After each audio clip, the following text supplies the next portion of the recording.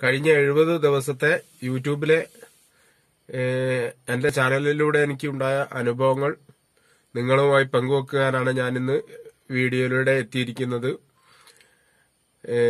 പുതിയ യൂട്യൂബർമാർക്ക്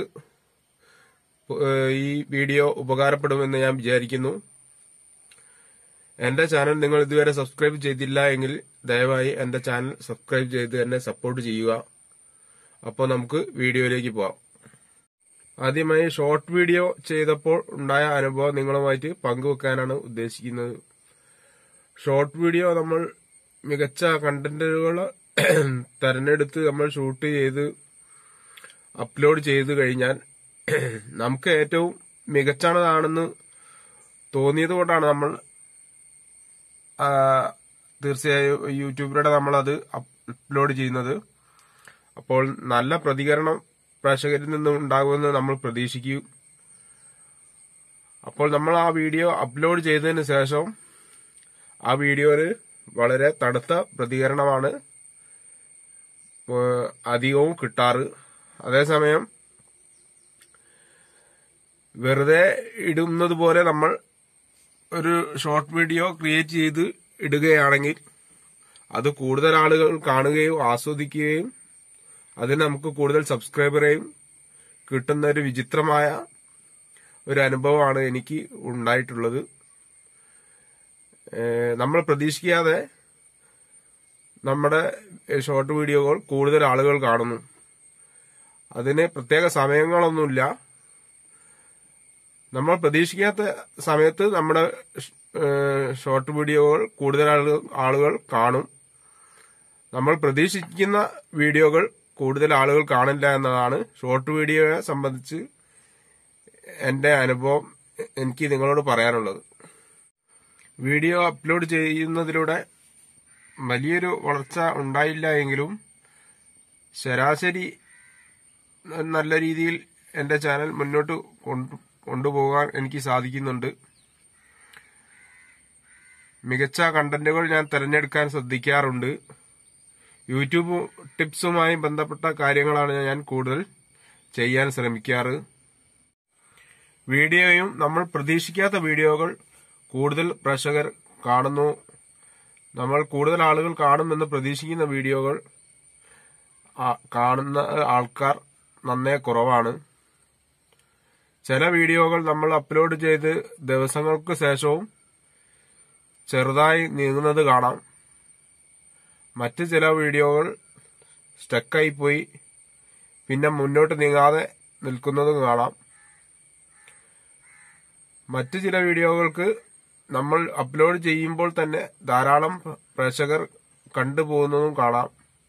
അങ്ങനെ പല രീതിയിലാണ് എനിക്ക് വീഡിയോയിലൂടെ അനുഭവം ഉണ്ടായത്. ഇത്രയും വീഡിയോ ഷൂട്ട് ചെയ്തതിലൂടെ എനിക്ക് നൂറ്റി എട്ട് വാച്ച് അവർ ലഭിക്കുകയും ചെയ്തു. തീർച്ചയായും യൂട്യൂബ് ചാനലിൽ എനിക്ക് വിജയം കണ്ടെത്താൻ കഴിയുന്ന ആത്മവിശ്വാസത്തോടെ ഇനിയും വീഡിയോകൾ ചെയ്യാനാണ് എന്റെ ശ്രമം. എന്റെ യൂട്യൂബ് ചാനൽ നിലവിൽ വന്നതിന് ശേഷം കുറച്ച് വീഡിയോകൾ അപ്ലോഡ് ചെയ്തു.